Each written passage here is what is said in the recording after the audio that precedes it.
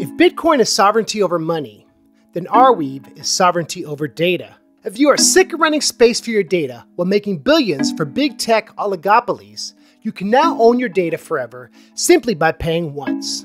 The ArDrive web app is the easiest way to make your data truly your own. In this episode of ArDrive News, we're going to talk about a few of the features we've rolled out on our web app that you may have missed. Number one, image previews. If you're using ArDrive to store your family photos, or planning that transgressive NFT drop, we can assume that you'll want to see what those images look like in your drive right away. Now available for both public and even better, private drives, with image previews now taken care of. Shortly, we'll be on to offering previews of other file types. Number two, folder uploads. So let's say you got a bunch of photos that you've painstakingly organized into folders and subfolders on your computer.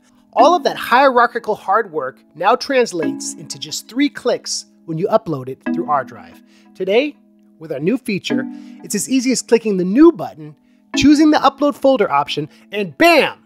Your folders are uploaded and your folder hierarchy is saved the same way on ArDrive as it is on your computer. This feature is particularly useful if you're planning to host a decentralized site on Arweave using ArDrive within number three, Arweave Manifest.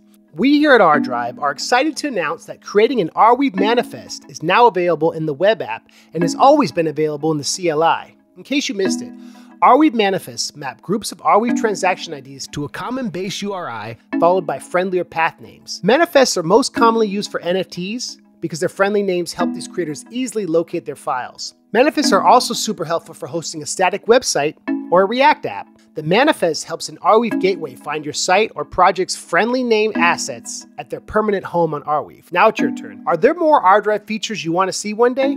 Please let us know in a comment here or jump into the Discord. And oh, yeah, you may have noticed that your drive is syncing much faster these days thanks to the improvements our exceptional engineering team has done on the back end. Know before you stow, using the sick new features we're constantly rolling out to make the best decentralized storage app in Web3.